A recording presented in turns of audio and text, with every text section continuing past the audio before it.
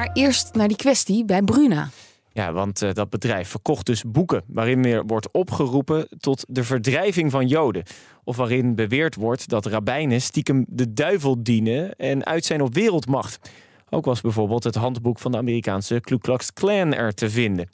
En dat mag niet zomaar, legt advocaat Christian Alberding Tijm ook eerder uit in de ochtendspits bij Bas. Bruna als eh, boekwinkel, boekverkoper is niet verantwoordelijk voor de inhoud van de boeken. Dus ze zijn gewoon een doorgeefluik. Uh, dat wordt wel anders op het moment dat Bruna weet wat er in die boeken staat. Dus als ze wetenschap heeft van boeken die mogelijk aanzetten tot haat of beledigend zijn of discriminerend, dan kan ze wel strafbaar zijn.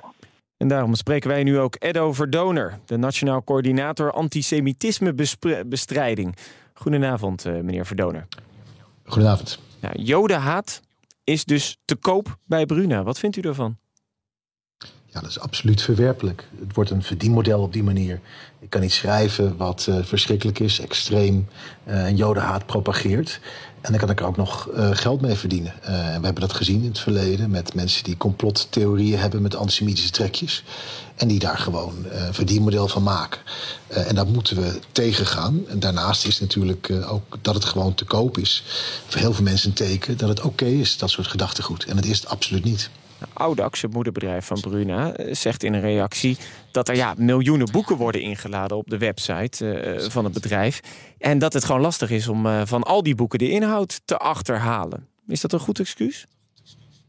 Nee, het is wel zo dat tegenwoordig natuurlijk verwachten dat boekbedrijven hele grote catalogus hebben met allemaal boeken erin. En natuurlijk geeft het ook een uitdaging. En als je even kijkt naar de grote bedrijven zoals Amazon bijvoorbeeld. Uh, ja, die hebben natuurlijk doordat ze op die manier kunnen opereren binnen de digitale wereld. ook uh, heel veel grote winsten kunnen realiseren.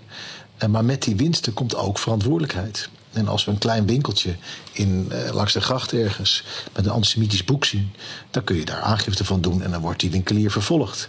Dan kan het toch niet zo zijn dat als je dan heel veel boeken verkoopt en ook nog, hè, zoals die grote online bedrijven, uh, goede marges opmaakt, dat je dan opeens wordt ontslagen van de verantwoordelijkheid om geen antisemitische boeken te verkopen.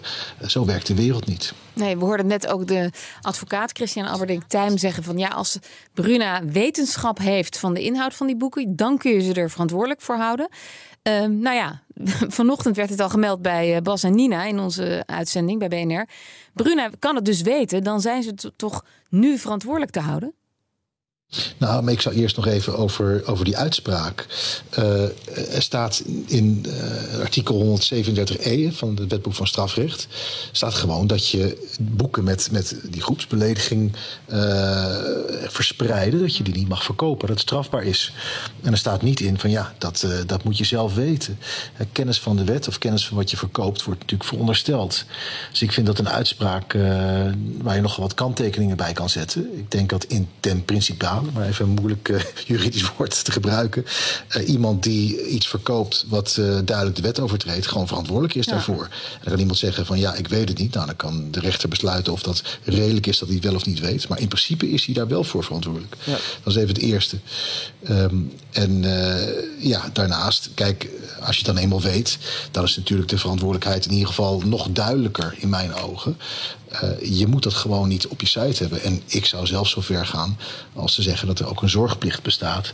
Om te zorgen dat je de goede mechanismen uh, in place hebt. Om te zorgen dat dat soort dingen niet meer voorkomen. Maar meneer je, ja. ik zie nog steeds dat die boeken op de site van Bruna te krijgen zijn. Wat kunt u hier nu zelf uh, aan doen? Nou ja, kijk, we kunnen natuurlijk aangifte doen uh, voor het verspreiden van boeken die, uh, die antisemitisme bevatten. Uh, dat kan gedaan worden. In dit geval ga ik ervan uit dat Bruna er alles op alles op zet om het, om het heel snel weg te halen. Gaat u dat ook doen, aangifte? wij gaan geen aangifte doen. Wij hebben ze betrokken bij een initiatief om dit te voorkomen in de toekomst. Dus wij hebben gezegd, uh, ga met ons samen zitten, Bruna. En ook andere partijen zoals Bol en Marktplaats en Amazon. En laten we met elkaar kijken. Sommige van jullie hebben de technieken wel om dit te weren.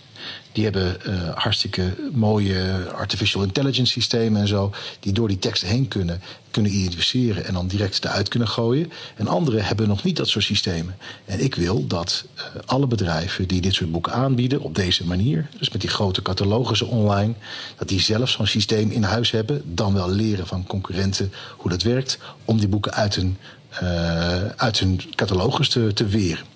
Dank. Edo Verdoner, Nationaal Coördinator Antisemitismebestrijding.